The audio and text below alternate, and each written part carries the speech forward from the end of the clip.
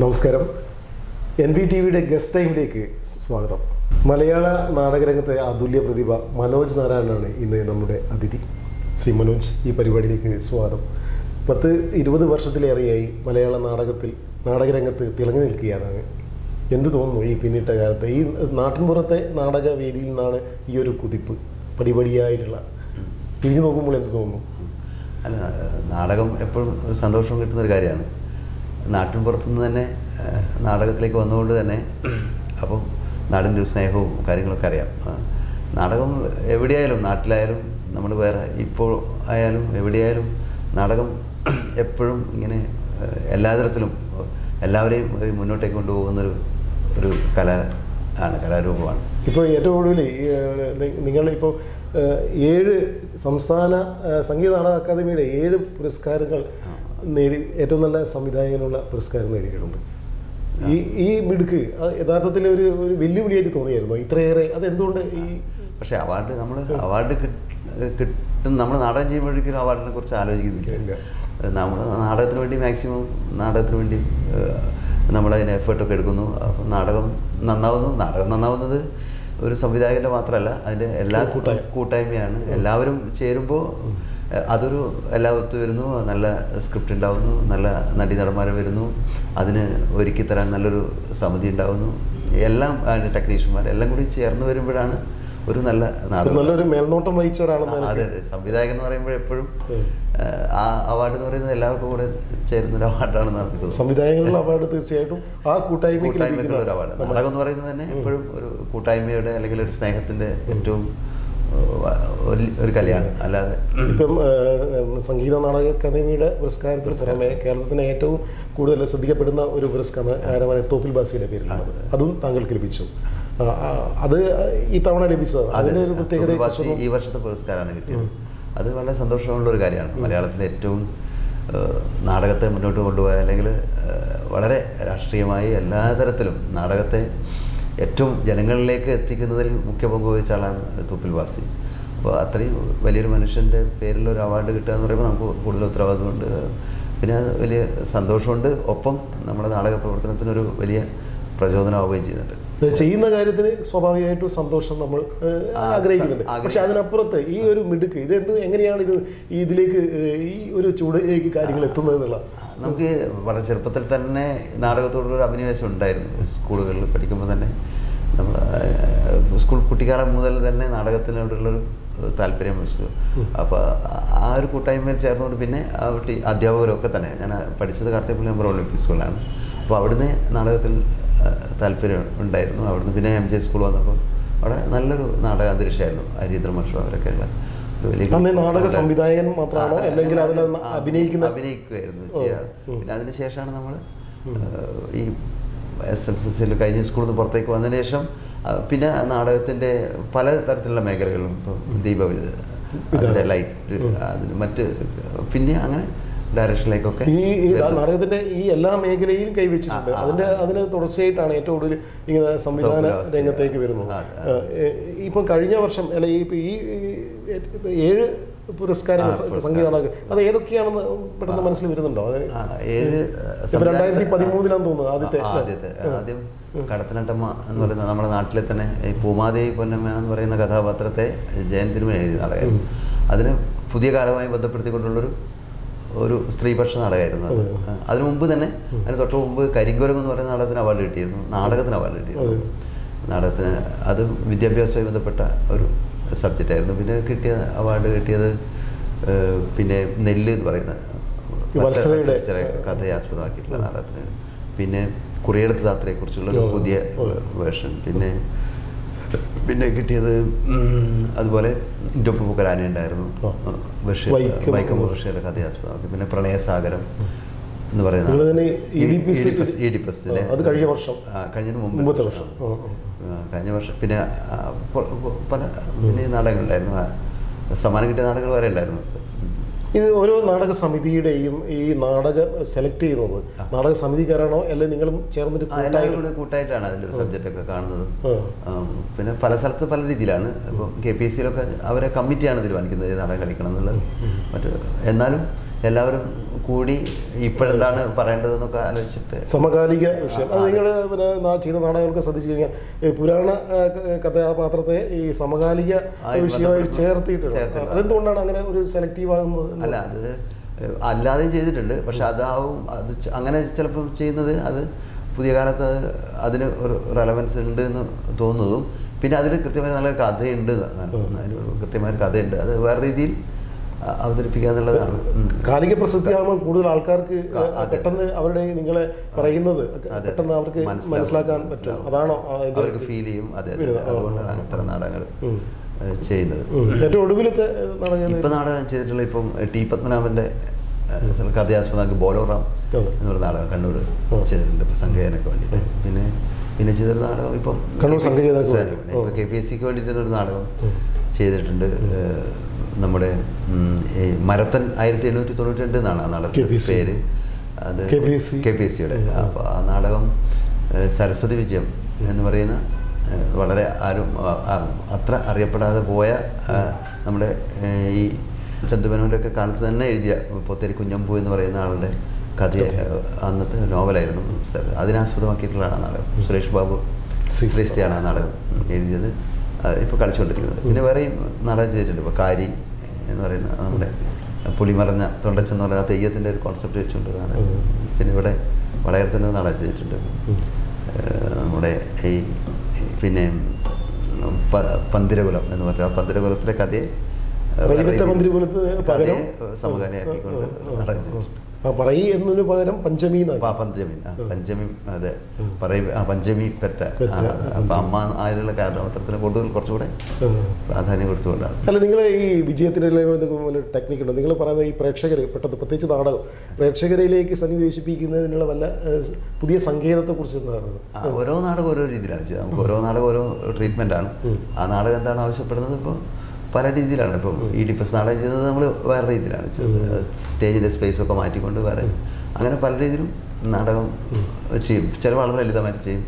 ചിലത് അങ്ങനെ ആവശ്യപ്പെടുന്ന നാടകം എന്താണ് ആവശ്യപ്പെടുന്നത് അതുപോലെ. കാരണം നിങ്ങൾ പ്രേക്ഷകരെ മുന്നിൽ കണ്ട് പ്രേക്ഷകരെ വേണ്ട അതെ. നിങ്ങളത് ഒരു വിജയം കരുതുന്നതാണോ? ഇത് വിജയിക്കും. അല്ലെങ്കിൽ പ്രേക്ഷകർ. സ്വീകരിക്കുന്നത് എങ്ങനെയാണോ? അല്ല അങ്ങനെ പറയാൻ പറ്റില്ല. പക്ഷെ നമ്മളെപ്പോഴും ഒരു നല്ലൊരു കാണിയായി മാറണം എന്നാണ് തോന്നുന്നത് സംവിധായകനായാലും അണിയറ പ്രവർത്തകരൊക്കെ എല്ലാവരും നല്ല കാണിയായി മാറുകയും അങ്ങനെ ചിലപ്പോൾ നമ്മൾ പ്രതീക്ഷിക്കില്ല ആൾക്കാർ ഏത് നാടകമാണ് വിജയിക്കാന്ന് പറയാൻ പറ്റ പറ്റില്ല. പുതിയൊരു അപ്പോൾ നാടകം വിജയിക്കുന്നു എന്ന് പറയുന്നതിന് സന്തോഷമാണ്. ഇത്രയും ഈ മറ്റു ടെക്നോളജി ഇന്ന് കേരളത്തിലെ നാടക പ്രവർത്തകർ നാടക സംവിധായകരിൽ ആളുടെ മനസ്സിൽ ആദ്യം എത്തുന്ന ഇപ്പോൾ പേരുകൾ ഒന്ന് നിങ്ങൾ തന്നെയാണ്. പേര് യഥാർത്ഥ താങ്കൾ തന്നെയാണ്. അത് അത് താങ്കൾ സൃഷ്ടിച്ച അല്ലെ സർഗപ്രതിഭയുടെ ഒരു ഒരു സംഭാവന തന്നെയാണ്. അങ്ങനെ കരുതുന്നുണ്ടോ അത്? ഞാൻ നേരത്തെ പറഞ്ഞല്ലോ നാടകം അങ്ങനെ നമുക്ക് ഉള്ളൊരു ഉത്തരവാദിത്വം നമ്മൾ നന്നായി ഒരു പൂർണമായി ചെയ്യുന്നു എന്നുള്ളത് തന്നെയാണ്. അത് ചിലപ്പോൾ വിജയിക്കാം. ചിലപ്പോൾ നമ്മൾ പരാജയപ്പെട്ട നാടകങ്ങളായിരിക്കും ഏറ്റവും കൂടുതൽ ജോലി അങ്ങനെ സംഭവിക്കാം. നമ്മൾ അങ്ങനെ കരുതുന്നേ. കരുതാം. പക്ഷെ അതെ കരുതും. പക്ഷേ നമ്മൾ അതിനുവേണ്ടി മുഴുവൻ അതിനുവേണ്ടി ഒരു സമർപ്പണം ഉണ്ടാവുക എന്നുള്ളത് തന്നെയാണ് ഏറ്റവും പ്രധാനം. ഇതിന് ചെയ്യേണ്ട തയ്യാറെടുപ്പുകൾ എന്തൊക്കെയായിരിക്കും? തയ്യാറെടുപ്പുകൾ അത് നമ്മൾ ആദ്യം നാടകത്തിന് ഒരു ടെക്സ്റ്റ് ഉണ്ടാവുന്നു. ആ- ടെക്സ്റ്റിനനുസരിച്ച് നമ്മൾ എന്ത് ചെയ്യുന്നു? അതിനൊരു എന്താണ് അതിലൂടെ മുന്നോട്ട് വെക്കേണ്ടത് ആശയം അല്ലെങ്കിൽ അത് എന്താണ് എന്തിനാണ്? അതെ, എങ്ങനെയാണ് അത് കമ്മ്യൂണിക്കേറ്റ് ചെയ്യേണ്ടത്? ആൾക്കാരിൽ എങ്ങനെയാണ് അത് എത്തേണ്ടത്? പിന്നെ അതിനെ എങ്ങനെയാണ് പറഞ്ഞതുപോലെ തന്നെ അതിന്റെ ഒരു വൈവിധ്യം അല്ലെങ്കിൽ. അവതരണത്തിലുള്ളൊരു. വ്യത്യാസം എങ്ങനെ ഒക്കെ ഉണ്ടാക്കുന്ന ഉണ്ടാക്കുന്നത് എങ്ങനെയാണ് അത് ആൾക്കാർ എങ്ങനെ ഫീൽ ചെയ്യും എന്നൊക്കെ നമ്മൾ ആദ്യം നമ്മുടെ മനസ്സിൽ. ഉണ്ടാവുന്നത് നല്ലതാണ്. നിങ്ങൾ ചിലപ്പോൾ കാര്യങ്ങളൊക്കെ ഒത്തുവരുത്താണ് ആ, സംഭവിക്കാം. സംഭവിക്കുന്നതായിരിക്കും ചിലപ്പോൾ ഏറ്റവും നന്നാവുക. കല എന്ന് പറയുന്നത് അങ്ങനെയാണ്. ക്രിയേറ്റിവിറ്റി എന്ന് പറയുന്നത് ചിലപ്പം അതിന്റെ ഒത്തുചേരലും കൂടെ ഒരു ഘടകമാണ്. നിങ്ങൾ ഉദ്ദേശിക്കുന്ന രൂപത്തിൽ വലിയ ഒരു രൂപത്തിൽ പ്ലാൻ ചെയ്ത് കഴിഞ്ഞാൽ അതിനനുസരിച്ചിട്ടുള്ള കാസ്റ്റിംഗ് കഥാപാത്രം നമ്മൾ കേരളീയ നാടക പ്രവർത്തകരിൽ ഉണ്ടോ? നിങ്ങൾ അങ്ങനെ നിങ്ങൾ ഉദ്ദേശിക്കുന്ന രൂപത്തിലുള്ള എപ്പോഴും കിട്ടാറുണ്ട് പലപ്പോഴും കിട്ടാറുണ്ട്. ചിലപ്പോൾ കിട്ടാതെ ഉണ്ട്. ചിലപ്പോൾ നമുക്ക് ഉദ്ദേശിച്ച കഥാപാത്രം കിട്ടാതെ ഉണ്ടാവാറുണ്ട്. പലപ്പോഴും ഉണ്ടാവാറില്ല ശരിയാണ്. അതെങ്ങനെയാണ് നിങ്ങൾ മറികടക്കുക മറികടക്കുക എന്ന് പറയുന്നത് നമ്മൾ ചിലപ്പോൾ ആദ്യം നമ്മൾ അങ്ങനെയുള്ള നാടകങ്ങളാണ് ആദ്യം ഏകദേശം നമുക്കൊരു. പ്ലാൻ ചെയ്യുകയും അതിനനുസരിച്ചുള്ള ആർട്ടിസ്റ്റുകളെ നമ്മൾ ആദ്യം. കാസ്റ്റ് ചെയ്യുകയും ചെയ്യാറുണ്ട്. ചിലപ്പോഴിങ്ങനെ ഇങ്ങനെ കിട്ടാതെ സംഭവിക്കാറുണ്ട്. അപ്പോൾ ബുദ്ധിമുട്ട് തന്നെയാണ്. അപ്പം ചിലപ്പോൾ നമ്മളിപ്പം നല്ല വളരെ ചെറിയ പ്രായമുള്ള കുട്ടിയൊക്കെ വേണമെങ്കിൽ ചിലപ്പോൾ കണ്ടെത്താനുള്ള പ്രായോഗിക ബുദ്ധിമുട്ടുണ്ടോ, അല്ലേ? ചിലപ്പോൾ നേരത്തെ നോക്കിയാൽ കിട്ടും ചിലപ്പോൾ കിട്ടാതാവുമ്പോൾ നമ്മൾ കുറച്ച് വലിയ ആൾക്കാരെയൊക്കെ ചെറിയ കുട്ടിയാക്കി വരും. അതെ ഒരു അഭിനയ അതെ. പിന്നെ അത് അങ്ങനെ സ്ത്രീ തോന്നി കഥാപാത്രങ്ങളും ഇത് ഒരു പലപ്പോഴും കാണാം. പല നാടകങ്ങളിലും. പല വേഷം തന്നെ. ഒരാൾ തന്നെ ചെയ്ത് ഉള്ള ഒരു. അത് കഥാപാത്രത്തിന്റെ പിന്നെ ക്ഷാമം കൊണ്ട് പറ്റുന്ന അല്ലെ? കഥാപാത്രം മീൻസ് അഭിനേതാക്കളുടെ അഭിനേതാക്കളുടെ ക്ഷാമം ഈ നാടകം ഈ രണ്ട് രീതിയിലുണ്ട്. ഇപ്പോൾ പ്രൊഫഷണൽ നാടകത്തിൽ ആൾ ചെറുപ്പക്കാരൊക്കെ കുറവുണ്ടാവാം. പക്ഷെ ഇപ്പം പുതുതായിട്ട് നന്നായിട്ട് വരുന്നുണ്ട്. പക്ഷേ അല്ലാതെ നമ്മൾ ഒരു അതൊരു പ്രൊഫഷണലായി എടുക്കണം എന്നില്ലല്ലോ അപ്പൊ അല്ല നമ്മൾ അമേച്ചറൊക്കെ ആയിട്ട് ഇഷ്ടംപോലെ ആൾക്കാരുണ്ട്. നമ്മളിപ്പോൾ സ് കോളേജിലായാലും സ്കൂൾ തിയേറ്ററിലായാലും ഒക്കെ ഒരുപാട് പുതിയ പുതിയ ഒരുപാട് കുട്ടികളുണ്ട്. ഇപ്പം തന്നെ പല രീതിയിലുള്ള ശ്രമങ്ങൾ നടക്കുന്നുണ്ട്. ഞാനിപ്പം തന്നെ താല്പര്യമുള്ള കുട്ടികളെ കുട്ടികളെ അവരെ സ്വമേധയാ ഈ രംഗത്ത് വരുന്നു. അത് ചിലപ്പോൾ പ്രൊഫഷണലായിട്ട് എടുക്കണം എന്നുള്ള നിർബന്ധമില്ലല്ലോ. നിർബന്ധമില്ല. അപ്പൊ അവരെ ചിലപ്പോൾ ഈ നാടകം എന്നൊക്കെ പറയുന്ന അവരവരുടെ സന്തോഷത്തിന് വേണ്ടിയും കൂടിയാണല്ലോ. ഒരു സമർപ്പണമായിട്ട് കാണുന്നത് വളരെ കുറവായിരിക്കും കുറെ ഉണ്ട്. പക്ഷെ അത് സമർപ്പണം തന്നെയാണ്. അവർ ആ നാടകം അഭിനയിക്കുമ്പോൾ അവർ പൂർണമായും അതിനെ സമർപ്പിക്കുന്നു. അത് പിന്നെ എല്ലാ ദിവസവും അവർ ഒരു ജീവിക്കാൻ വേണ്ടിയിട്ട് എന്ത് ചെയ്യുന്നില്ല. ഇത് ഇത് select അതിലേക്ക് വരുന്നില്ല. അവർ വേറെ ജോലി കാണുകയും അതെ. ആ ജോലിയുടെ കാര്യം ചോദിക്കുമ്പോഴാണ് പലപ്പോഴും പലരും എന്നെ മുമ്പൊക്കെ നാടകരംഗത്ത് നിന്നാണ് സിനിമയിലേക്ക് എത്തിയത് ഇന്ന് നാടകരംഗത്ത് അങ്ങനെ എത്തിയപ്പോൾ സിനിമയിലേക്ക് എണ്ണം കുറഞ്ഞു വരികയാണ്. പല മിമിക്രി അതേപോലെ മോശമല്ല. അതെങ്ങനെ ആ രൂപത്തിലാണ് കാണാറ്? അത് നാടകത്തിന്റെ ഇതിലേക്ക് വരുന്നതിന്റെ അല്ലെങ്കിൽ കഥാപാത്രങ്ങൾ അല്ലെങ്കിൽ അങ്ങനെയുള്ള അഭിനേതാക്കളുടെ താല്പര്യമാണോ അല്ലെങ്കിൽ നാടകത്തോടുള്ള അവർക്ക് അഭിനിവേശം ഇല്ലാത്തതാണോ അത്? അല്ല നാടകവും സിനിമയും രണ്ടും രണ്ട് രീതി തന്നെയാണല്ലോ. അല്ല, ഇതിലേക്കുള്ള- ഇതിന്റെ ഒരു പ്രൊമോഷൻ ആഗ്രഹിക്കുന്നവരുണ്ടാവും. പക്ഷെ അങ്ങനെ വേണ്ടെന്നാണ് തോന്നുന്നത്. നാടകത്തിൽ നിൽക്കുന്നവർ നാടകത്തിൽ നിൽക്കുകയും പിന്നെ അവസരം കിട്ടുമ്പോൾ പോവുക അല്ലാതെ നമുക്ക് സിനിമയിലേക്ക് പോകാനുള്ളൊരു ചവിട്ടുപടി. ചവിട്ടുപടി എന്നുള്ള നിലയ്ക്ക് നാടകത്തെ കാണാത്തതാണ് നല്ലത്.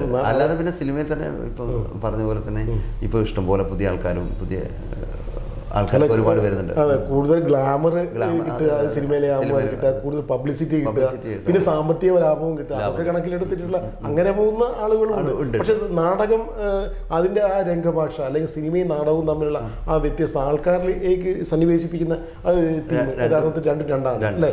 അതാണ് നാടകം എന്ന് പറയുന്നത് ഒരു ജീവനുള്ള കലയാണ്. ജീവനുള്ള മനുഷ്യൻ ജീവനുള്ള ആൾക്കാരോട് നേരിട്ട് കമ്മ്യൂണിക്കേറ്റ് ഒരു ജീവനുള്ള ഒരു ജൈവ കല തന്നെയാണ് നാടകം. പക്ഷെ സിനിമ അങ്ങനെ തന്നെയാണ്. പക്ഷെ സിനിമ വേറെ ഇതിൽ ടെക്നോളജിയും പിന്നെ അവർക്ക് നമുക്ക് നാടകത്തിന് അങ്ങനെ റീടേക്ക് ഒന്നുമില്ലല്ലോ. അതെ നാടകം സ്ഥിരമാണ്. ആ എപ്പോഴും നാടകം അവതരിപ്പിക്കുക എന്നുള്ളത് അത് എപ്പോഴാണോ നാടകം അന്നൊക്കെ അവതരിപ്പിക്കണം.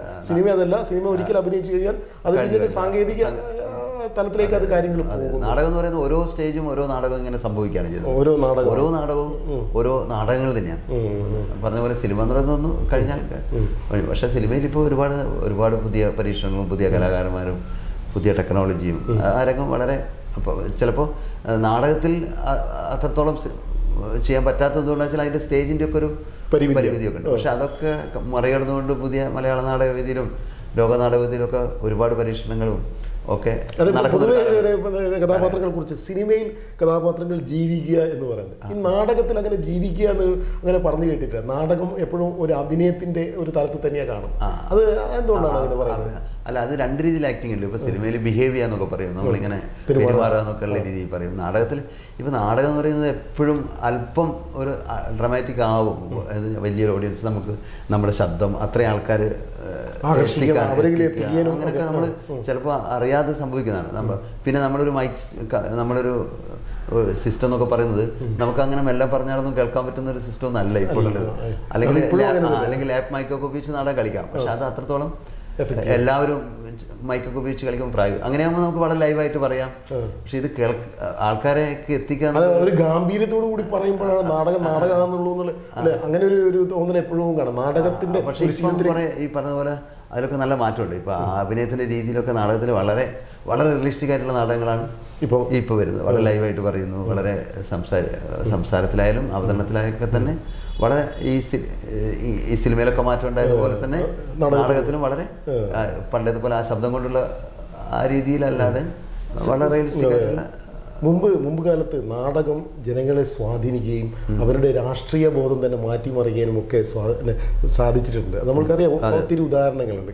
ഇപ്പോൾ സമകാലികമായിട്ട് നമ്മൾ ആലോചിച്ച് നോക്കുമ്പോൾ ശ്രദ്ധിച്ച് നോക്കുമ്പോൾ വിലയിരുത്തുമ്പോൾ അങ്ങനെ ഒരു മാറ്റിമറിക്കാൻ ജനങ്ങളെ ജനപക്ഷത്തെ നല്ല- നല്ല രൂപത്തിൽ ഇടപെടൽ നടത്താൻ ഈ കലാരൂപം കൊണ്ട് കഴിയുന്നുണ്ടോ?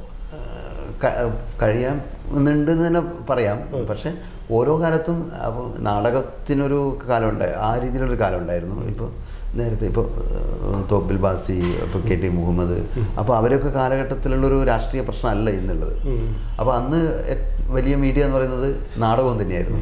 നാടകം ആയിരുന്നു നാടകം കാണുക. അപ്പോൾ ഈ നമ്മളിങ്ങനെ ചരിത്രം നോക്കിയാൽ കാണാം. ഈ ഓരോ നാടകങ്ങളിലും പത്തും ഇരുപത്തഞ്ചോളം പാട്ടുകളൊക്കെ ഉള്ള നാടകങ്ങളൊക്കെ ഉണ്ടായിരുന്നു. അന്ന് നാടകം കാണാൻ നാടകം മാത്രമായിരുന്നു വിനോദം. ആൾക്കാർ പക്ഷെ അതിൽ നിന്ന് മാറി ഇപ്പോൾ നമ്മൾ നമുക്ക് കയ്യിലേക്ക് എന്തും കാണാൻ പറ്റുന്ന അവസ്ഥയുണ്ട് അപ്പോൾ അത് പിന്നെ രാഷ്ട്രീയ പ്രശ്നങ്ങൾ മാറിയിട്ടുണ്ട്. അതുപോലുള്ള രാഷ്ട്രീയ അവസ്ഥയല്ല അതുപോലെ നമുക്ക് ആ- രീതിയിലുള്ള രാഷ്ട്രീയ അവസ്ഥയല്ല അപ്പോൾ അല്ല ഓരോ കാലത്തുള്ള രാഷ്ട്രീയ അവസ്ഥ അതാത് കാലത്ത് നാടകത്തിലേക്ക് കൊണ്ടുവരുന്നുണ്ട്. കഴിയുന്നിടത്തോളം നാടകത്തിൽ കൊണ്ടുവരുന്നുണ്ട്. നാടകത്തിലേക്ക് അത്തരം കാര്യങ്ങൾ ചർച്ച ചെയ്യുന്നുണ്ട്. ഇപ്പൊ നാടകം തന്നെ ഇപ്പൊ കേരളത്തിൽ ഇപ്പൊ ഒരു ഈ ഒരു നാൽ നൂറോളം ഈ നാടകോത്സവങ്ങൾ ഇപ്പം നടക്കുന്നുണ്ട്. അതായത് നാടകത്തിന് നല്ല ഒരു ഇങ്ങനെ ആസ്വാദകരുണ്ട് കാഴ്ചക്കാരുണ്ട് ഒരു വ്യക്തമായ ചെറിയ ചെറിയ സ്ഥലങ്ങളിൽ നാടകോത്സവങ്ങളൊക്കെ ഉണ്ട്. പിന്നെ ഈ സ്കൂളുകളൊക്കെ ഈ നാടകം തിയേറ്റർ എന്ന് പറയുന്നത് ഒരു പഠനത്തിന് വളരെ സഹായിക്കുന്ന രീതിയിൽ കേരളത്തിലുടനീളം കുട്ടികളുടെ വർക്ക്ഷോപ്പുകളും ക്യാമ്പുകളും കുട്ടികളുടെ അല്ല, അത്. പറഞ്ഞപ്പോൾ ഞാൻ നേരത്തെ തന്നെ ചോദിക്കാൻ പിന്നെ കരുതിയതാണ് കാരണം നിങ്ങൾ പിന്നെ മുതിർന്ന പ്രൊഫഷണൽ നാടകത്തോടൊപ്പം തന്നെ കുട്ടികളുടെ നാടക. അരങ്ങ് കളരികൾ വളരെ സജീവമായിട്ട് ഇടപെടുന്ന ഒരാളാണ്. അത്. അതിന് എന്തുകൊണ്ടാണ് നിങ്ങൾ അത് അത് സെലക്ട് ചെയ്യുന്നത്? പൊതുവേ ഈ രൂപത്തിലേക്ക് എത്തിക്കഴിഞ്ഞാൽ ഇതൊക്കെ മറന്ന് അത് കുട്ടികളുടെ ഒരു ഒരു നമ്മൾ നമ്മളും കുട്ടിയായിരുന്നല്ലോ. നമ്മളും കുട്ടികളുടെ നാടകത്തിനാണല്ലോ വന്നത്. അതല്ലാതെ തന്നെ കുട്ടികളുടെ വിദ്യാഭ്യാസത്തിൽ അല്ലെങ്കിൽ കുട്ടികളുടെ ഒരു സ്വഭാവം രൂപീകരിക്കുന്നതിൽ ഏറ്റവും പങ്കുവഹിക്കാൻ പറ്റുന്ന ഒരു തിയേറ്റർ ഒരു ചില തിയേറ്റർ അപ്പോൾ അത് കുട്ടികളെ ഇഷ്ടപ്പെടാന്ന് പറയുന്ന ഒരു സന്തോഷം തന്നെയാണ്. കുട്ടികൾ ആയിട്ട് പെരുമാറുമ്പോൾ നമുക്ക് മനസ്സിലാവും. അപ്പം ചിൽഡ്രൻസ് തിയേറ്റർ എന്ന് പറയുന്നത് നമ്മൾ എന്നാൽ മാത്രമേ ഈ വലിയ നാടകം തന്നെ നിലനിൽക്കണമെങ്കിൽ നമുക്ക് കുട്ടികളിൽ തന്നെ തുടങ്ങണം. ആ അതുകൊണ്ട് തന്നെ കുട്ടികളുടെ ഒരു വലിയ ഓഡിയൻസ് ഇപ്പോൾ. നമുക്കറിയാം കേരളത്തിലെ സാഹിത്യത്തിൽ തന്നെ അല്ലെങ്കിൽ ഏത് കുട്ടികളുടെ രചനകളാണ് അല്ലെങ്കിൽ നാടകത്തിന്റെ രചനകളാണ് ഏറ്റവും കൂടുതൽ ഉണ്ടാകുന്നത് ഇപ്പം സംസ്ഥാന യുവനോത്സവം മറ്റ് താഴോട്ടുള്ള യുവനോത്സവങ്ങളൊക്കെ തന്നെ വരുമ്പോൾ ചിലപ്പോൾ ഒരു പതിനായിരത്തിലധികം പുതിയ നാടകങ്ങൾ അല്ലെങ്കിൽ പുതിയ സൃഷ്ടികൾ പുതിയ സൃഷ്ടികൾ ഉണ്ടാകുന്നുണ്ട്. പക്ഷെ അത് രേഖപ്പെടുത്താതെ പോകുന്നില്ല ശരിയാണ് പക്ഷെ ഇത്രയും സൃഷ്ടികൾ ഉണ്ടാകുന്നത് ചിലപ്പോൾ അത്രയും കുട്ടികളും ഉണ്ടാവും. നിങ്ങൾ ആലോചിച്ചു എത്ര കുട്ടികളാണ്. അഭിനയിക്കുന്നത് ഏതെല്ലാം രീതിയിലെ കലോത്സവങ്ങളുണ്ട് അവിടെയൊക്കെ കുട്ടികളുടെ ഒരു സ്പേസ് ഉണ്ട്. അവർ അവിടെ ആ ഒതുങ്ങി പോകുന്നുണ്ട്. അവളെ വളർച്ചക്കനുസരിച്ച് പുതിയ നമ്മൾ നേരത്തെ പറഞ്ഞ പോലെ അവർ പ്രൊഫഷണലായിട്ട് നാടകത്തെ കാണണമെന്നില്ല. പക്ഷെ അവർ അവരൊരിക്കലും അങ്ങനെ നാടകം കളിച്ചോ ക്യാമ്പ് പങ്കെടുത്തവരോ അവരൊരിക്കലും വേറെ രീതിയിൽ സമൂഹത്തിന് ഒരു ബുദ്ധിമുട്ടുണ്ടാക്കില്ല. അതാണ് അതാണ് ഒരു- ശ്രദ്ധിക്കപ്പെടേണ്ട ഒരു വസ്തുതയാണ്. ഇത്തരം കലാപ്രവർത്തകർ. സമൂഹത്തിന് ഗുണകരമായ രാഷ്ട്രീയ ബോധം അവരൊരു സമൂഹത്തോടുള്ള സമീപനം മനുഷ്യരോടുള്ള സമീപനം പ്രകൃതിയോടുള്ള സമീപനം ഒക്കെ വളരെ വ്യത്യസ്തമായിരിക്കും എന്നുള്ള ഉറപ്പ് തന്നെയാണ് സങ്കുചിതം ഉണ്ടാവും. കാരണം അവരുടെ മനോഭാവത്തിൽ തന്നെ ഈ നാടകം നാടക പ്രവർത്തനം കലാപ്രവർത്തനം ഒക്കെ മാറ്റം വരുത്തിയിട്ടുണ്ടാവും. നിങ്ങളുടെ അനുഭവം വെച്ച് അതെ. നിങ്ങൾ എവിടെയൊക്കെയാണ് ഇത്ര കുട്ടികളുടെ ഈ ചിൽഡ്രൻസ് തിയേറ്റർ നിങ്ങൾ അതിന്റെ ഭാഗമായി പ്രവർത്തിക്കുന്നത്? പ്രവർത്തിക്കുന്നത് വളരെ സജീവമായിട്ട് ഇപ്പം ഈ പൂക്കാട് കലാലയം എന്ന് പറയുന്നത് അവിടെ വളരെ സജീവമായിട്ടുള്ള ഒരു ചില തിയേറ്റർ ഉണ്ട്. അവിടെ കളിയാട്ടം എന്നൊക്കെ പറഞ്ഞ കുട്ടികൾ പിന്നെ സ്ഥിരമായിട്ട് അവിടെ തിയേറ്റർ ട്യൂട്ടോറിയൽ എന്ന് പറയുന്ന ഒരു നമ്മൾ ഇവിടെയുള്ള കുട്ടികൾ ഈ പരിസരത്ത് ഈ പരിസരത്ത് നമ്മളിവിടെ ക്യാമ്പ് നടത്താറുണ്ട്. കുട്ടികളുടെ അവിടെ ഈ പരിസരത്തുള്ള കുട്ടികൾ മാത്രമല്ല പല സ്ഥലത്തും കുട്ടികൾ വരും. പിന്നെ നമ്മളെ ഗഹനമായിട്ട് സീരിയസ് ആയിട്ട് സീരിയസ് ചിൽഡ്രൻസ് തിയേറ്റർ അതെന്ന് പറയുന്നത് നാടകം എപ്പോഴും ഒരു കണ്ടിന്യൂസ് ആയിട്ട് ഒരു പ്രോസസ്സാണ് അതിപ്പോൾ ഇതിനൊരു കണ്ടിന്യൂഷൻ എപ്പോഴും ആവശ്യമാണ്. നമ്മളിപ്പോൾ ഒരു ദിവസം രണ്ട് ദിവസം അല്ല നടത്തുന്നത്.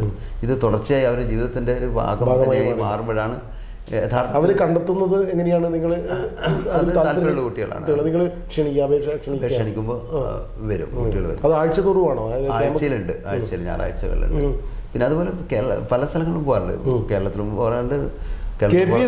ഇതേപോലെ ഉണ്ടല്ലോ. എല്ലാ വർഷവും ഏപ്രിൽ മാസത്തിൽ അവിടെ കുട്ടികളുടെ ക്യാമ്പ് നടക്കും. അവിടെ കുട്ടികളുടെ നാടകങ്ങൾ അവതരിപ്പിക്കുന്നുണ്ട്. പല സ്ഥലങ്ങളിൽ. ഇപ്പോൾ വില്യാപ്പിളെ തന്നെ ഞങ്ങൾ നമ്മുടെ നാട്ടിൽ കേന്ദ്രീകരിച്ച് കുട്ടികളുടെ വീട് വളരെ കാലം മുമ്പേ നമ്മുടെ നാടകത്തിന്റെ ആചാര്യന്മാരായിട്ടുള്ള കൊച്ചു നാടപ്പിള്ള സാറും പ്രൊഫസർ എസ് രാമാനുജൻ സാറും അവരൊക്കെ വന്നിട്ടുള്ള ഒരു ഇതാണ്. അപ്പോൾ അതിന്റെ ഒരു കുട്ടികളെ ക്യാമ്പൊക്കെ വളരെ അതല്ലാതെ കേരളത്തിലെ പല സ്കൂളുകളിലും കോളേജുകളിലും പിന്നെ പല സ്ഥലങ്ങളിലും.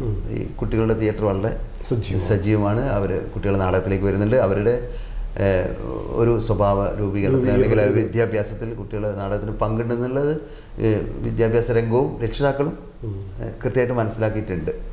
അതുപോലെ പഠനം ഈ നാടകത്തിലൂടെ അങ്ങനെയുണ്ടോ? അതെങ്ങനെ അവരെ പാടി സിലബസുമായിട്ട് അങ്ങനെ സിലബസ് അപ്പം എങ്ങനെ പഠനം നമുക്ക് വളരെ തിയേറ്ററുമായിട്ട് ബന്ധപ്പെടുത്താം. സമഗ്ര വിദ്യാഭ്യാസത്തിന് കുട്ടികളുടെ നാടകം എന്നൊക്കെ ഉള്ളൊരു ആശയമുണ്ട്. അപ്പം വിദ്യാഭ്യാസത്തിൽ എങ്ങനെ നാടകത്തിന് ഇടപെടാൻ പറ്റും? ഏത് കാര്യവും നമുക്ക് കുട്ടികൾ രസകരമായി കളിച്ചു പഠിക്കുക എന്നുള്ളതാണ് അവരുടെ മനസ്സിൽ അതെ അതെ. അവരെ മനസ്സിൽ ഭാവന അവരെ ചിത്രങ്ങൾ ഉണ്ടാക്കുക. അപ്പൊ കളിച്ചു പഠിക്കുമ്പോൾ ഒരിക്കലും അവരെന്ത് ചെയ്യില്ല? മറന്നുപോലെ അവർ ആസ്വദിച്ചാണ് ചെയ്യുന്നത് ആനന്ദിച്ചാണ് ചെയ്യുന്നത്. ആ രീതിയിൽ നമുക്ക് ക്ലാസ് റൂം തിയേറ്ററിനൊക്കെ ഉപയോഗിക്കാം. ഇന്നലെ തന്നെ ഞങ്ങൾ ഒരു ക്യാമ്പ് പങ്കെടുത്തത്. അത് ക്യാമ്പിൽ ക്ലാസ് റൂം തിയേറ്റർ. അപ്പം ക്ലാസ് മുറിയിൽ എങ്ങനെ നമുക്ക് രസകരമായി അതൊരിക്കലും അവർ മറന്നുപോകില്ല അവർ ആസ്വദിക്കും. പിന്നെ അവർ എല്ലാ രീതിയിലും അവരുടെ ഒരു ഭാവന അവരുടെ ഇമാജിനേഷൻ പിന്നെ അവരുടെ ഒരു ക്രിയേറ്റിവിറ്റി ഏറ്റവും നമ്മൾ ജീവിതത്തിൽ ഏറ്റവും കൂടുതൽ സമയം ചെലവഴിക്കുന്നത് സ്കൂളിലാണ്. കുട്ടിക്കാലം എന്ന് പറയുന്നത് ഏറ്റവും കൂടുതൽ എത്രയോ അപ്പോൾ അവരുടെ ക്രിയേറ്റിവിറ്റി അവരുടെ വളരേണ്ട ഒരു സ്ഥലവും അതാണ്. അപ്പോൾ അവരെന്താവണം? അവരൊരു ഒരു വളർച്ചന്റെ ഘട്ടം അതാണ്. അപ്പോൾ ഇത്തരം കാര്യങ്ങളിലൂടെ എപ്പോഴും ഇത് ഇങ്ങനെ ചിന്തിച്ച് ചെയ്യുന്നൊരു പ്രവൃത്തിയാണിത് ഈ നാടക പ്രവർത്തകർ അപ്പോൾ തീർച്ചയായിട്ടും ആ കുട്ടികളുടെ കാര്യവും കാര്യമൊക്കെ പറഞ്ഞു. പക്ഷെ അവർ അങ്ങനെ ആക്കി എടുക്കാൻ അവർ രക്ഷിതാക്കളും അധ്യാപകരൊക്കെ ശ്രമിക്കുന്നുണ്ടോ? ശ്രമിക്കുന്നുണ്ട് ശ്രമിക്കുന്നുണ്ട്. പല സ്ഥലങ്ങളിലും ശ്രമിക്കുന്നുണ്ട്. നന്നായി ശ്രമിക്കുന്നുണ്ട്. അപ്പോൾ ആ രീതിയിൽ കുറച്ചും കൂടെ മാറേണ്ടതുണ്ട്. ഇങ്ങനെ കുറച്ചുകൂടെ ഇപ്പം പഠനം എന്നൊക്കെ പറയുന്നത് ഇപ്പം വലിയ ആ രീതിയിലല്ലാതെ കുറച്ചുകൂടെ കളിച്ചു പഠിക്കുന്ന പലപ്പോഴും നമ്മൾ കുട്ടികളെ കുറിച്ച് കേൾക്കാം. ഈ സഭാകമ്പമൊക്കെ കൂടുതൽ കാണുന്ന കുട്ടി- കാണാം, അതെ. അപ്പൊ അത് മാറ്റിയെടുക്കാൻ കൂടെ അല്ലെങ്കിൽ കുട്ടികൾക്ക് ഒരു ഒരു ധൈര്യം ഒരു ആത്മധൈര്യം. അവരെ അവരെ മനസ്സിലാക്കാൻ അവരെ രൂപപ്പെടുത്താൻ നാടകം നല്ലതാണ് അപ്പൊ നമ്മുടെ ഉള്ളിൽ തന്നെ ഉള്ള ഒരു കഴിവിനെ നമുക്ക് പുറത്തേക്ക് കൊണ്ടുവരേണ്ടത് ആവശ്യമാണ്. അതിനൊരു സ്പേസ് വേണമല്ലോ എപ്പോഴും. അപ്പൊ അത് ചെയ്തു നോക്കുമ്പോഴാണ് പലപ്പോഴും ചെയ്തു നോക്കാത്തതുകൊണ്ടാണ് പ്രശ്നം. അപ്പൊ ഒരിക്കൽ നമ്മൾ ചെയ്തു നോക്കുമ്പോഴാണ് നമ്മളിലുള്ള കഴിവുണ്ടെന്നും അല്ല അങ്ങനെയായി നാടക പ്രവർത്തകർ കൂടുതൽ പേര് ഈ രംഗത്ത് വരണ്ടേ? ഇപ്പോൾ നാടകമൊക്കെ ഇപ്പൊ നന്നായി ഇപ്പം യൂണിവേഴ്സിറ്റി തലത്തിലാണ് നാടകം പഠിക്കുന്നുണ്ട് ഇഷ്ടംപോലെ ഒരുപാട് സ്ഥാപനങ്ങളുണ്ട്. ആ രീതിയിലൊക്കെ നന്നായി വളർച്ച ഉണ്ടായിട്ടുണ്ട് നാടകത്തിൽ ഇപ്പം കേരളത്തിൽ തന്നെ ഇപ്പം നാടകം പഠിക്കുന്ന കുട്ടികളൊക്കെ school of drama school of drama ഉണ്ട് അതുപോലെ കഴിഞ്ഞു വരുന്ന ആൾക്കാരെ പിന്നീട് എന്താ ചെയ്യുന്നത്? പല രീതിയിലുണ്ട്. നാടക പ്രവർത്തനത്തിൽ വളരെ സജീവമായിട്ടുള്ളവരുണ്ട് പിന്നെ നിങ്ങൾ പറഞ്ഞ പോലെ സിനിമയിലേക്ക് ഒരു എത്തിപ്പെടുന്നവരുണ്ട്. പിന്നെ ഇതുപോലെ വർക്ക്ഷോപ്പൊക്കെ നടത്തുന്നവരുണ്ട്. പിന്നെ ഇതുമായിട്ട് ബന്ധപ്പെട്ട് അതിന്റെ ഒരു മുകളിലോട്ട് പഠിക്കുന്നവരുണ്ട്. എപ്പോഴും പിന്നെ പറയുന്നത് കേൾക്കാം. ഈ നാടകരംഗത്ത് ഒക്കെ നിന്ന് കഴിഞ്ഞാൽ കുടുംബം രക്ഷപ്പെടുമോ എന്നുള്ള കാര്യം ഒരു പേടിയായിരുന്നു എപ്പോഴും. അല്ല ഇപ്പം അങ്ങനത്തെ സാമ്പത്തികമായിട്ടുള്ളൊരു ഒരു അസ്ഥിരതയൊന്നും ഇല്ല. നന്നായി പ്രവർത്തിച്ചാൽ ഇപ്പം ഇപ്പം നാടകവേദിയിലും അങ്ങനത്തെ പ്രയാസങ്ങളൊന്നുമില്ല. നന്നായി ശോഭിച്ചാൽ നന്നായിട്ട് മുന്നോട്ട് പോകാൻ പറ്റും. അതിപ്പം. ഇപ്പം പ്രൊഫഷണൽ നാടകവിദ്യാലയം അപ്പോൾ പറഞ്ഞ ശരിയാണ്. മുമ്പ് ഭയങ്കര പരാധീനതകളൊക്കെ ഉണ്ടായിരുന്നു. പക്ഷെ ഇപ്പോൾ എല്ലാ രീതിയിലും അതിന്റെ ഒരു വർധനവൊക്കെ എല്ലാ രീതിയിലും ഉണ്ടായിട്ടുണ്ട് തന്നെയാണ്. അല്ല പല നാടക പ്രവർത്തകരുടെയും മുഖത്ത് ഇപ്പോൾ ഒരു തെളിച്ച കുറവ് എപ്പോഴും കാണാറുണ്ട് അപ്പോൾ പിന്നെ അത് പിന്നെ ഈ നാടകം എന്ന് പറയുന്നത് അത് വേറെ രീതിയിൽ സന്തോഷം തരുമെങ്കിലും നാടകത്തിൽ ഇടപെടാന്നുള്ളത് വലിയ അസ്വസ്ഥത ഉണ്ടാവും എപ്പോഴും. നമ്മളിങ്ങനെ ഒരു അതിലിങ്ങനെ ആലോചിക്കുമ്പോൾ അസ്വസ്ഥ ഉണ്ടാവും നിങ്ങൾ പലപ്പോഴും മുമ്പ് നാടകം നമ്മൾ നമ്മളൊക്കെ കുട്ടിക്കാലത്ത് കണ്ടത് ക്ഷേത്ര. പറമ്പുകൾ ഉത്സവ പറമ്പുകളിലാണ് അപ്പോൾ ഇന്ന് പലരുടെയും പ്രേക്ഷകർ അതിന് താരതമ്യേന കുറവാണ്. അവർ മുമ്പൊക്കെ നല്ല നാടകത്തിനനുസരിച്ചുള്ള അതെ. പ്രേക്ഷകർ നന്നായിട്ട്. ഇന്ന് അതില്ല. അത് ആൾക്കാരുടെ ഒരു മനോഭാവത്തിൽ ഇപ്പൊ ഇന്ന് വൈകുന്നേരങ്ങളിൽ നാടകം ഏതെങ്കിലും ഓഡിറ്റോറിയത്തിൽ നിന്ന് കണ്ട് പോവുക എന്നുള്ളത്. അത് ആ- അങ്ങനെ നാടകത്തിന്റെ ഒരു പോരായ്മയാണോ? അതിൽ നാടകം കണ്ട് അല്ല ആൾക്കാരുടെ ഒരു മനോഭാവം എന്തുകൊണ്ടാണ് നിങ്ങൾക്ക് സമയത്തിന്റെ ഒക്കെ ഒരുപാട്. ഈ നേരത്തെ നാടകങ്ങളൊക്കെ നന്നായിട്ട് ആളുണ്ട്. ഓരോ പ്രദേശത്ത് ഇപ്പൊ നമ്മളിങ്ങനെ കണ്ണൂർ കാസർഗോഡൊക്കെ പോവുകയാണെങ്കിൽ ആയിരക്കണക്കിന് ആൾക്കാരാണ് നാടകം കാണാൻ. ഓരോ പ്രദേശങ്ങൾ ഓരോ പ്രദേശങ്ങളിൽ നാടകം കാണാനുണ്ട്. ഓരോ ഇപ്പം ഇപ്പം അങ്ങനെ ഒരു സ്പേസ് ഉണ്ട്. ഇപ്പം വൈകുന്നേരം ഇതുപോലെ ഓഡിറ്റോറിയങ്ങളിലൊക്കെ നാടകോത്സവങ്ങൾ. അപ്പോൾ അവിടെ ഇഷ്ടംപോലെ ആൾക്കാരുണ്ട്. ചില ക്ഷേത്രങ്ങളിലുണ്ട് പിന്നെ നമുക്ക് സ്വാഭാവികമായിട്ടും ഇപ്പൊ വീടുകളിലൊക്കെ ആൾ ചെറിയ ചെറിയ കുടുംബങ്ങളൊക്കെ ആയി മാറിയത് കൊണ്ടൊക്കെ അങ്ങനെ അങ്ങനെയൊക്കെ ആവാം പിന്നെ ഈ പറഞ്ഞതുപോലെ നാടകം. ഒരു ഉത്സവമായിരുന്നു. ഉത്സവം, വീടൊക്കെ പൂട്ടിയിട്ടാണ് നാടകം നമ്മളിങ്ങനെ പഴയ കാലത്ത് അല്ലേ പോയിരുന്നു. പോയിരുന്നു ചൂട്ടൊക്കെ എടുത്ത് അങ്ങനെ പോയൊരു അത്ര സമിതികളൊന്നും ഇപ്പോൾ നാടകമില്ല. പക്ഷെ വേറെ രീതിയിൽ നാടകം കാണാനൊക്കെ ഉള്ള സ്പേസ് ഉണ്ട്. ഇപ്പം ലോക നാടകങ്ങളൊക്കെ കാണാനുള്ള ഒരു വേദി നമുക്ക് കേരളത്തിലുണ്ട്.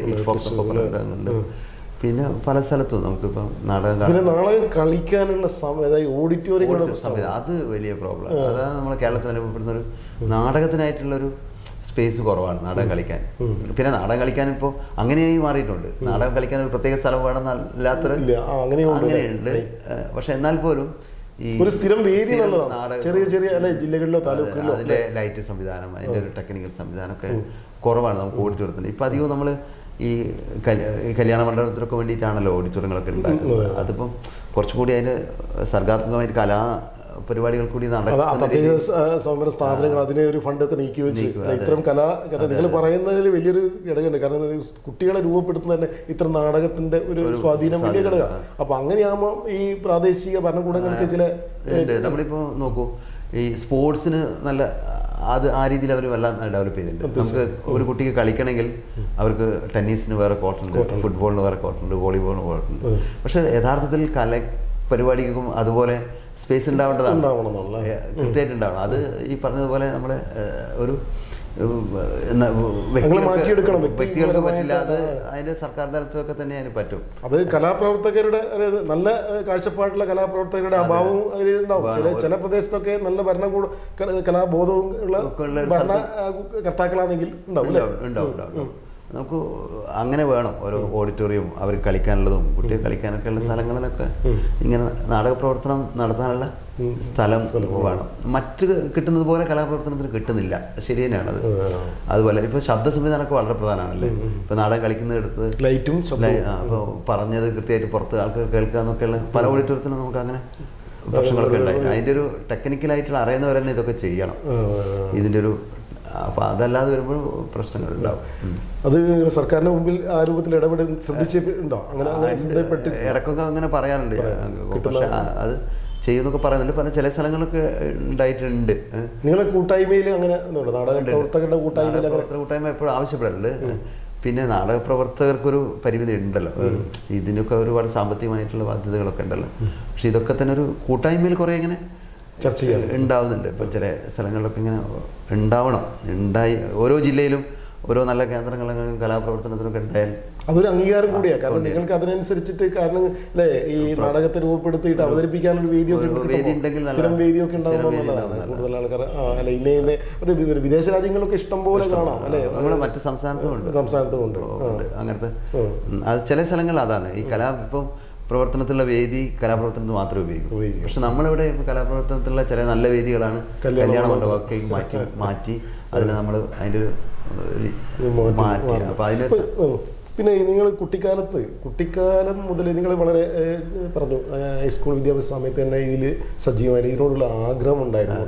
അഭിനയിക്കാനുള്ള. അതെ, പതുക്കെ പതുക്കെ ഒരു പത്തിരുപത് വർഷം മുമ്പ് നിങ്ങൾ ആ മനസ്സിലുണ്ടായിരുന്നോ? കെ പി എസ് സിയിലൊക്കെ എനിക്ക് എത്തണം എന്നുള്ള ഇല്ല അങ്ങനെ അത് പോവുകയാണ് അങ്ങനെയല്ല ആഗ്രഹം നമ്മൾ കെ പി എസ് സി ഒക്കെ നാളെ ചെയ്യാൻ പറ്റുമെന്നൊന്നും നമ്മളങ്ങനെ ആഗ്രഹിച്ചിട്ടില്ല ഇല്ല. പക്ഷേ നമ്മൾ ഇങ്ങനെ പ്രവർത്തിച്ചിട്ടുണ്ട് ഇങ്ങനെ എഫേർട്ട് എടുത്തിട്ടുണ്ട്.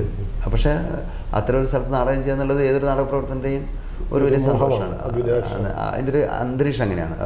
ഒരു നാടകത്തിന്റെയും ഒരു അവിടെ പോയാൽ കിട്ടുന്ന ഒരു അന്തരീക്ഷം. അത് അവിടെ ഞാൻ, നാടകം ചെയ്തതിന് മുമ്പ് തന്നെ അവിടെ കുട്ടികളെ വർക്ക്ഷോപ്പ് നടത്തുകയും കുട്ടികൾക്ക് വേണ്ടി നാടകമൊക്കെ ചെയ്ത സ്ഥലമാണ് കെ പി എസ് സി. പിന്നെയാണ് അവർ നാടകം ചെയ്യാൻ പറയുന്നത്. അങ്ങനെ നാടകം ചെയ്തു. പക്ഷേ വലിയ സന്തോഷം. സന്തോഷം നമുക്ക് കുറേ ഉത്തരവാദിത്വമൊക്കെ തന്നെയാണ് പിന്നെ നമുക്ക് പഴയതുപോലെ അത്രയും ശക്തമായ പറഞ്ഞതുപോലെ കെ പി സിയുടെ പഴയ നാടകങ്ങളൊക്കെ പറഞ്ഞാൽ അത്രയും കാലത്തോട് ഇങ്ങനെ എപ്പോഴും ഇങ്ങനെ. ശക്തമായ നാടകങ്ങൾ തന്നെയാണ്. ഇടപെടുന്ന നാടകങ്ങൾ തന്നെയാണ്. ഇപ്പോഴും അതിന് പരമാവധി ഇപ്പോഴും വളരെ ശക്തമായി നിൽക്കുന്നു എന്നുള്ളതാണ്. ഇത്രയും വർഷമായിട്ടും നാടകത്തിന് വേണ്ടി മാത്രം നമ്മൾ കേരളീയ സമൂഹത്തിൽ തന്നെ കെ പി എസ് സിക്ക് ഒരു ഉന്നതമായ ഒരു സ്ഥാനമുണ്ട്. അപ്പൊ അത് അത് നിലനിർത്തുന്നു. നിലനിർത്തുന്നത് വലിയ കാര്യം തന്നെയല്ലേ നാടകത്തിന് വേണ്ടി മാത്രം ഒരു സമിതി. പല സ്ഥലങ്ങളിലുണ്ട് ഇപ്പോൾ നാടക ഇപ്പോൾ കുട്ടികൾക്ക് വേണ്ടി മാത്രമുള്ള ഒരു സംഘടന. രംഗപ്രഭാത് എന്ന് പറഞ്ഞിട്ട്. തിരുവനന്തപുരത്ത് അത് കുട്ടികളുടെ ഗ്രാമമാണ്. കുട്ടികളുടെ നാടക പ്രവർത്തനം മാത്രമാണ് അപ്പോൾ അതുപോലുള്ള സ്പേസുകൾ എല്ലായിടത്തും. ഉണ്ടാവണം. അവിടെ ഉണ്ട്. ഇപ്പോൾ പൂക്കാട് കുറച്ചുകൂടെ ഡെവലപ്പ് ചെയ്തിട്ടുണ്ട്. നാടകം കുട്ടികളുടെ നാടകത്തിന് വേണ്ടിയിട്ട് നല്ല സ്പേസും അങ്ങനെ ഓരോ സ്ഥലങ്ങളിലും അങ്ങനെ ഉണ്ട്. കേരളത്തിൽ പല സ്ഥലത്തുണ്ട്. ഇപ്പോൾ തൃശ്ശൂർ രംഗജതനുണ്ട്. അങ്ങനെ ഓരോ സ്ഥലത്തും ഇങ്ങനെ നല്ല മാറ്റങ്ങളും ഒക്കെ വരുന്നുണ്ട്. കണ്ണൂരുണ്ട്. ഓരോ ചൂട് പിടിച്ച് മറ്റുള്ളവരും. വരുന്നുണ്ട്. ഒരു കുറേ നിങ്ങൾ ഇവിടെ കേരളത്തിന് പുറത്ത് നാടകം കേരളത്തിന് പുറത്ത് ഇന്ത്യയ്ക്ക് പുറത്തൊക്കെ നാടകം ചെയ്യും കുട്ടികളെ ക്യാമ്പ് നടത്തുകയും വർക്ക്ഷോപ്പൊക്കെ. നടത്തിയിട്ടുണ്ട്. അവിടെയൊക്കെ തന്നെ ഈ പറയുന്നത് പോലത്തെ നാടകത്തിനോട് കാണിക്കുന്ന ഒരു സ്നേഹം. വലുത് തന്നെയാണ് നാടകം എന്ന് പറയുന്നത് ഒരു നമ്മൾ വളരെ ശാസ്ത്രീയമായി നമ്മളെ ശരീരത്തിന് വേറെ രീതിയിൽ നമ്മളൊരു ഒരു ലോകത്തേക്ക് എത്തിക്കുന്ന ഒരു കല തന്നെയാണ് നാടകം. ഏത്? ഇത്രയും വളരെ ശരീരം. ഒരാൾ അഭിനേതാവ് എന്നുള്ള രീതിയിൽ ഒരു ആക്ടർ ആണെങ്കിൽ ഏറ്റവും സന്തോഷം കിട്ടുന്ന ഒരു കല ചിലപ്പോൾ അതായിരിക്കും. ശരീരത്ര ഈ ശരീരം ഇത്ര നമുക്ക് കരയാൻ കഴിയുക അല്ലെങ്കിൽ ചിരിക്കാൻ കഴിയുക അറിയാതെ ദേഷ്യപ്പെടാൻ കഴിയുക. ഇത് എന്ന് പറയുന്നത് നമ്മുടെ ശരീരത്തിൽ ഇത്ര വളരെ സയന്റിഫിക്കായി ഉണ്ടാകുന്നൊരു ഒരു മാറ്റം. ഉണ്ടാക്കുന്നത് ഒരു ഉണ്ടാക്കുന്ന ഒരു ആനന്ദം ഉണ്ടാക്കുന്നത് ഇല്ല ഏറ്റവും അധികം സന്തോഷം കിട്ടുക ചിലപ്പോൾ നടനായിരിക്കും. സംവിധായകനോ എഴുത്തുകാരനോ അതിലപ്പുറം ഇതിൽ അഭിനയിക്കുന്ന ആൾക്കാണ് തീർച്ചയായിട്ടും. എഴുത്തുകാരനും അല്ലെങ്കിൽ സംവിധായകനും അല്ല അല്ലല്ലോ. അല്ല അല്ല പ്രേക്ഷകരുടെ മുമ്പിൽ പ്രേക്ഷകരുടെ മുമ്പിൽ നടൻ എന്ന് പറയുമ്പോൾ. ഉണ്ടാവുന്ന ഒരു സന്തോഷം. അവന്റെ അതെ. ആ എക്സ്പ്രഷൻ എന്ന് പറയുന്നത് അങ്ങനെയാണ്. മനസ്സുമായി ബന്ധപ്പെട്ട ഒരു കാര്യമാണല്ലോ അപ്പൊ അപ്പോൾ മനസ്സിനെ മാറ്റുന്ന മനസ്സ് അപ്പോൾ നമ്മൾ നമ്മൾ വേറൊരാളായി മാറുകയാണ് ചെയ്യുന്നത്. അങ്ങനെയാണല്ലോ നാടകം കഥാപാത്രമായി മാറുന്നത് നമ്മൾ സെക്കൻഡ് പേഴ്സൺ വേറൊരാളായി മാറുകയാണ് ചെയ്തത്. ചെയ്യുന്നത് അപ്പോൾ നമ്മളവിടെ രണ്ട് ഇരുന്ന് രണ്ട് രണ്ടര മണിക്കൂർ നേരത്തെ അതെ അതെ അതെ. അത് ആണ് നിങ്ങൾ നേരത്തെ ചോദിച്ച പോലെ നാടകം കുറച്ച് ഏഹ്, കുറച്ച് ഇതായി പോകുന്നു എന്നൊക്കെ പറഞ്ഞില്ലേ? കുറച്ചുകൂടെ വേറെ രീതിയിൽ കുറച്ച് അങ്ങനെ വരുന്നത് എന്തുകൊണ്ടാണെന്ന് വെച്ചാൽ അയാളെന്നുള്ള വ്യക്തി? ചില എലാബറേറ്റ് ചെയ്ത് അഭിനയിക്കേണ്ടി വരും. പക്ഷെ ചില കാര്യങ്ങൾ നമ്മൾ അങ്ങനെ ചെയ്യേണ്ടി വരും. എന്ത് ഏത് രീതിയിലായ നാടകം എന്ന് പറഞ്ഞാൽ അഭിനയമാണല്ലോ. എല്ലാവർക്കും അറിയാലോ. ഇപ്പൊ ഒരാളെ നമ്മൾ എന്ത് ചെയ്യുന്നു? ഇപ്പൊ ഒരാൾ ഒരാളെ വെടിവെച്ച് കൊല്ലുന്നു. അപ്പം ഒരു വെടിവെച്ച് കൊല്ലുന്നു. അപ്പം നാടകമാകുമ്പോൾ അയാൾ അത് വിശ്വസിപ്പിക്കും. വിശ്വസിപ്പിക്കുക എന്നുള്ളതാണ് ഏറ്റവും പ്രധാനം. കുറച്ച് കഴിഞ്ഞാൽ അയാൾ എഴുന്നേറ്റ് വരുന്നുണ്ട്. പക്ഷെ നാടകവും ജീവിതം രണ്ടെന്നെയാണ്. തന്നെയാണ് അപ്പൊ ഈ നാടകവും അപ്പൊ നമ്മളിങ്ങനെ പറയും ജീവിതം തന്നെയാണ് നാടകം നാടകം തന്നെയാണ് ജീവിതം എന്നൊക്കെ പറയും. അപ്പൊ നാടകം ജീവിതം തമ്മിൽ ചെറിയ വ്യത്യാസമുണ്ട്. ജീവിതത്തിലാണെങ്കിൽ അയാൾ ഒരിക്കലും എഴുന്നേറ്റ് വരില്ല. അപ്പൊ അതിന്റെതായ ചില വ്യത്യാസം. അതിഭാവത്വമൊക്കെ. ഉണ്ടാവും. അപ്പൊ അഭിനയം തന്നെ വേണം. അപ്പൊ ചില സിനിമ കാണുമ്പോൾ നാടകം എന്ന് പറയുന്നത് ചില കഥാപാത്രങ്ങൾ ഡ്രമാറ്റിക് അതങ്ങനെ ആ അർത്ഥത്തിലായിരിക്കും. ഡ്രാമ എന്ന് പറയുന്നതിൽ തന്നെ ഇപ്പൊ ഡ്രാമ പ്രവൃത്തി ഡു.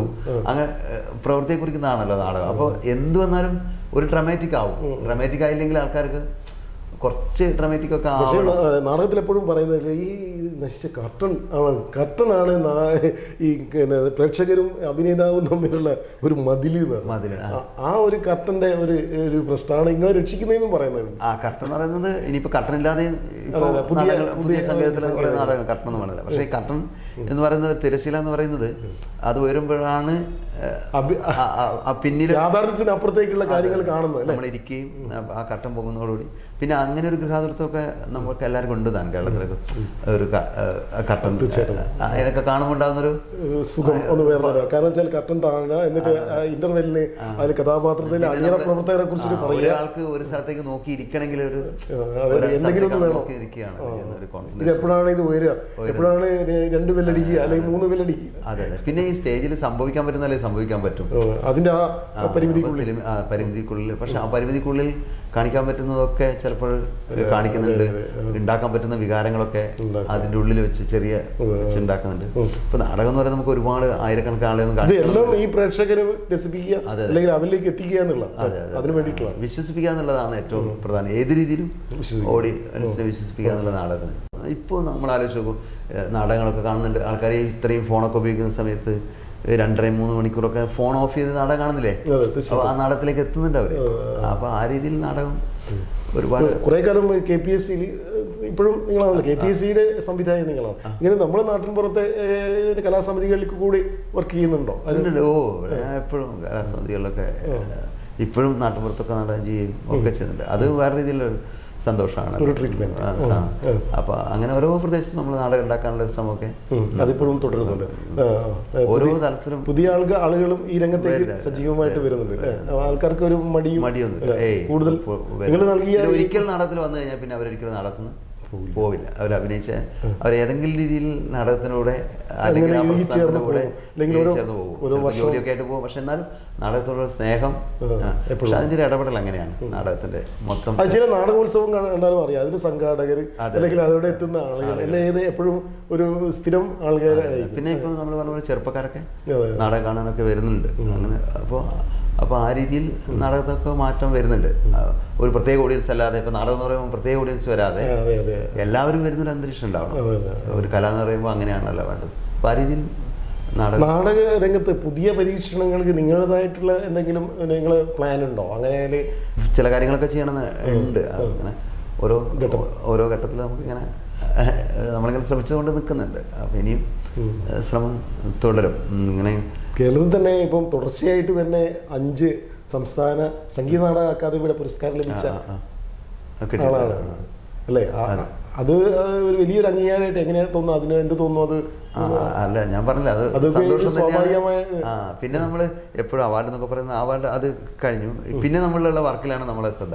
അത് എത്രത്തോളം അങ്ങനെ. അതാണല്ലോ പ്രധാനം. ഇങ്ങനെ ഇത് ഇങ്ങനെ ഒരു തുടർച്ചയാണല്ലോ. അപ്പൊ അടുത്ത നാടകം പിന്നെ നമ്മൾ അടുത്ത നാടകത്തിന് ആലോചന പിന്നെ നമ്മൾ അതൊക്കെ ചിലപ്പോൾ മറക്കണം. അടുത്ത പ്രൊജക്റ്റ് അല്ല ഇപ്പോഴേ നാടകങ്ങളൊക്കെ ചെയ്തു കഴിഞ്ഞു ഇനിയും ഇനിയിപ്പോഴേ ഇനി ഇപ്പോഴേ ഇങ്ങനെ ഇപ്പം- ആ ഇപ്പോൾ ഒരു കുടുംബശ്രീക്ക് വേണ്ടിയിട്ട് ഇപ്പോൾ ഒരു തിയേറ്റർ ഗ്രൂപ്പ് ഉണ്ട്. ഇപ്പോൾ അതിൽ ഇരുപത്തഞ്ചോളം ഇപ്പം നമ്മൾ അവിടെ നിന്നാണ് വന്നത്. ഇരുപത്തഞ്ചോളം സ്ത്രീകൾ. അവർ അവർ നാടകത്തിന്റെ ഒരു പരിശീലനമാണ് നടക്കുന്നത്. അപ്പോൾ അവർ നാടകം സ്ത്രീപക്ഷ നാടകമായി മാറുമോ അല്ല ഇല്ല അങ്ങനെയൊന്നുമില്ല. പ്രത്യേക പക്ഷം ഒന്നുമില്ല. അതല്ല അവർ സ്ത്രീകളാണ് എല്ലാം ചെയ്യുന്നത്. പിന്നെ സ്ത്രീകളെ വിഷയങ്ങൾക്ക് ചിലപ്പോൾ അവർ പ്രാധാന്യം കൊടുക്കും. പക്ഷെ അങ്ങനെയല്ല പൊതുവെ സമൂഹത്തിലുള്ള പ്രശ്നങ്ങളൊക്കെ തന്നെയാണ് അവർ ഞാൻ ചെയ്യുന്നത് പുരാണ നാടകത്തിലെ സ്ത്രീ കഥാപാത്രങ്ങളൊക്കെ സമകാലിക വിഷയങ്ങൾ അവർ സ്ത്രീകൾ നേരിടുന്ന പ്രശ്നങ്ങളൊക്കെ ചേർത്തിട്ട് നിങ്ങൾ അതേപോലെ അല്ലാതെ തന്നെ ചെയ്തു ഞാൻ മുമ്പൊരിക്കൽ ഇപ്പൊ കരിക്കുറുങ്ങ നാടകത്തിൽ അഭിനയിച്ചത് നമ്മുടെ ആയിഷത്ത് ആ, ആ. നിലമ്പൂർ അതെ. അപ്പൊ അവരുടെ ക്യാരക്ടർ അങ്ങനെയാണ്. പക്ഷെ അവരെ പോലുള്ള ആൾക്കാർക്ക് നാട നമ്മൾ നാടകത്തിൽ അഭിനയിച്ചു എന്ന് പറയുന്നത് നമുക്ക് ഒരു വലിയ സന്തോഷമാണ് അന്ന് അവർക്ക് ആ നാടകത്തിലെ മികച്ച നടിക്കുള്ള അവാർഡ് കിട്ടി. കിട്ടിയിരുന്നു. അപ്പോൾ അപ്പോൾ അവരൊക്കെ നമുക്ക് അവരിൽ നിന്ന് നമുക്ക് ഒരുപാട് പഠിക്കാനുണ്ട്. അപ്പോൾ അവർ പഴയ നാടകകാലത്തെ കുറിച്ചൊക്കെ നമുക്ക് കൃത്യമായിട്ട് പറഞ്ഞു വരും അപ്പോൾ പഴയ ആൾക്കാരുമായിട്ട് നമ്മൾ നന്നായി ഇടപെടുകയും അപ്പോൾ അവരിൽ നിന്ന് നമുക്ക് ഒരുപാട് കാര്യങ്ങൾ. പഠിക്കാനും പറ്റും. കുടുംബം? കുടുംബം കല്യാണം കഴിച്ചിട്ടില്ല. അമ്മയുണ്ട് രണ്ടേട്ടന്മാരുണ്ട് വീട്ടിൽ കേരളത്തിന്റെ നാടകരംഗത്ത് വടകരയുടെ വലിയ സംഭാവനകളൊന്നാണ് ഇവിടെ ഈ മനോജ് നാരായണൻ. അദ്ദേഹത്തിന് ഒത്തിരി സ്വപ്നങ്ങളുണ്ട്. ഇരുപത് വർഷം കൊണ്ട് അദ്ദേഹം വലിയ ഒരു ഘട്ടത്തിലെത്തി പദവിയിലെത്തിയിട്ടുണ്ടെങ്കിൽ പോലും ഇനിയും കുറേ സ്വപ്നങ്ങൾ അദ്ദേഹത്തിന്റെ മനസ്സിലുണ്ട്. കുറേ പരീക്ഷണങ്ങൾ നമ്മോട് പങ്കുവെക്കാനുണ്ട്. തീർച്ചയായിട്ടും അദ്ദേഹത്തിന് അത് കഴിയട്ടെ. ഇത്രയും സമയം നമ്മോട് പങ്കുവെച്ച മനോജ് നാരായണന് നന്ദി അറിയിക്കുന്നു. സന്തോഷം.